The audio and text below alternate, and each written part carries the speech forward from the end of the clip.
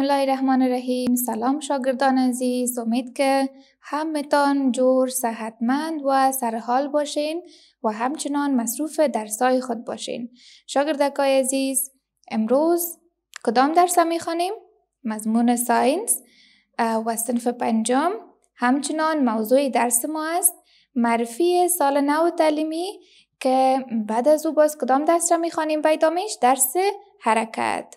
خب شاگردکای عزیز و استاد شما هم استاد رابیه خوب شاگردای عزیز قسمی که گفتیم امروز ما از کتاب صنف پنجم شما مضمون ساینس صحت و محیط زیست را می‌خوانیم و کدام صفحه کتاب شما است؟ صفحه اول. خوب شاگردکای عزیز شروع می‌کنیم به درس امروز ما. معرفی سال نو تعلیمی یعنی که ما باید در مورد سال نو که پیش روی داریم و مضمون ساینس که در این سال نو بخیر می‌خوانیم یاد می‌گیریم و بسیار موضوعات نو یا هم موضوعاتی که یک قسم هستن یا مشابه هستن با سالهای قبل یاد می‌گیریم و حال موضوعات را به شما یادآوری خواهم کردم. خوب شاگردکای عزیز در سال گذشته تعلیمی که صنف چهارم شما بود هم مضمون science داشتین یاد گرفتین بسیاری از موضوعات زیاد را یاد گرفتین مثلا چی چیزا را یاد گرفتین؟ در مورد science از موجودات زنده یاد گرفتین خوب شاگردکای عزیز و یاد دارین که موجودات زنده چی چیزا بودن؟ شامل کدام بخشا می شدن؟ کدام خصوصیات را داشتن؟ حال ما به شما یک تصویر را نشان میدم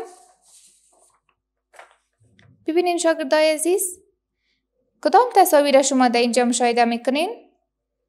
تصویر از حیوانات را می‌بینین یک طرف حیوانات وحشی دیده میشه و یک طرف هم حیوانات اهلی دیده میشه یعنی که در سال در صنف چهار ما خواندیم یاد گرفتیم و فهمیدیم که موجودات زنده شامل حیوانات هستند و دیگه گروپ ها هم هستند که حال به شما کم کم یادآور میشم این تصویر را مشاهده کنین.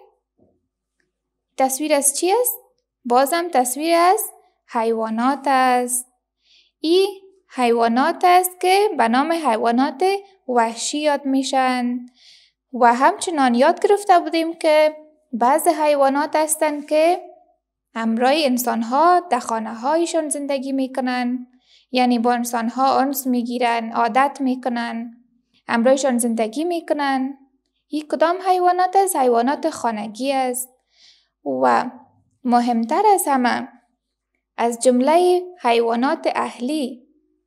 ای کدام حیوانات هستند حیوانات اهلی هستند که حیوانات هستند که در جاهایی که مثلا جای بسته باشه مثلا در خانه ها در مزرعه و زیاد جایهای دیگه زندگی می‌کنن.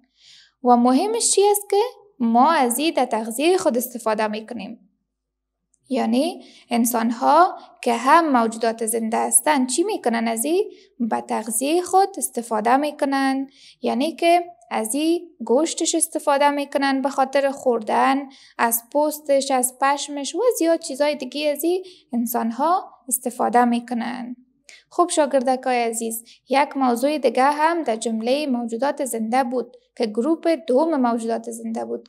به نام چی یاد می‌شد؟ به نام نباتات. آفرین شاگردکای عزیز گروپ اول ما حیوانات بود و گروپ دوم نباتات. و نباتات هم گفته بودیم که بزیاد انواع مختلف هستند مثلا این نباتات را که شما در تصویر می‌بینین مثلا بعض سبزیجات است گندم است اینا که هستن هم خودشان از جمله موجودات زنده هستند هم ما انسان ها از اینا استفاده می‌کنیم و چی استفاده می‌کنیم به خاطر تغذیه استفاده می‌کنیم. خوب شاگردکای عزیز بعض نباتات دیگه هم بودن که ما از اونها به خاطر چی استفاده می‌کردیم؟ به خاطر ای استفاده می کردیم که خانه های خود تزین کنیم زیبا بسازیم. به خاطر از ای استفاده می کردیم که مثلا باخچه های خود مقبول بسازیم زیبا بسازیم یا جاهای سرسبز بسازیم. و تزین استفاده کنیم. ای هم از جمله نباتات بودند. خب شاگردکای عزیز خدا کنه که از موجودات زنده که جملهش در جمله کدام بخشا می‌رفت حیوانات و نباتات چیزایی یاد گرفته باشین و دوباره پس یادتان آمده باشه. و موضوع دیگه که یاد گرفتیم چی بود؟ حرارت و روشنی. و موضوعات دیگه مثلا ماشین ها را خواندیم در موردش معلومات گرفتیم زمین را خواندیم در موردش معلومات گرفتیم که در زمین کدام موجودات زندگی می‌کردن ما چرا در, در این سیاره زندگی می‌کنیم به خاطر چی بود شاگردکای عزیز؟ بله به خاطر ای که زمین دارای چی است؟ اکسیژن است آب است سرسبزی است از این خاطر موجودات زنده در اینجا می‌تونن که براحتی زندگی کنن و همچنان بسیار موضوعات زیاد دیگر را یاد گرفتیم مثل غذا مثل نظافت مثلا بعض کمک های اولیه محیط زیست آب و هوا و بسیار چیزهای دیگه و این بود یک مرور بسیار کوچک به چی چیزها؟ به موضوعات صنف پنجم و صنف چهارم یعنی که در صنف چهارم چی چیزها خواندیم و در صنف پنجم هم مشابه امی چیزها را خواهیم خواند. خوب شاگردکای عزیز شروع می‌کنیم به موضوعات مهم و اصلی صنف پنجم ما که از جملهش چی است؟ فصل اول ما در مورد خواص اجسام زنده عنوان درس ماست خواص اجسام زنده خوب شاگردکای عزیز در صنف چهارم ما خوانده بودیم که موجودات زنده و موجودات گفته می شود که دارای خواص مشترک باشند او خواص کدام بود؟ بیادتان است؟ بله حرکت، تغذیه، تنفس، تکسر و نمو حال امروز یکی از امو خواص را ما می‌خوانیم اولش چی است؟ حرکت شاگردای عزیز سه تصویر اینجا به شما داده شده می‌بینین که کدام تصاویر است؟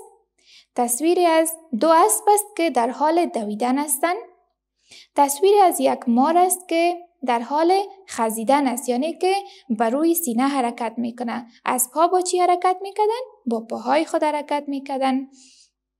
و تصویری از یک پرنده می‌بینین که پرنده ها وقت پرواز می‌کنن توسط چی پرواز می‌کنن؟ توسط بالهای خود پرواز می‌کنن. و وقتی که به زمین میشینن چطور می‌باشه؟ بله توسط پاهای خود که دو پا دارن حرکت می‌کنن. پس موجودات زنده هم بسیار بخشا یا اعضای جداگانه دارن به خاطر چیشان؟ به خاطر حرکتشان.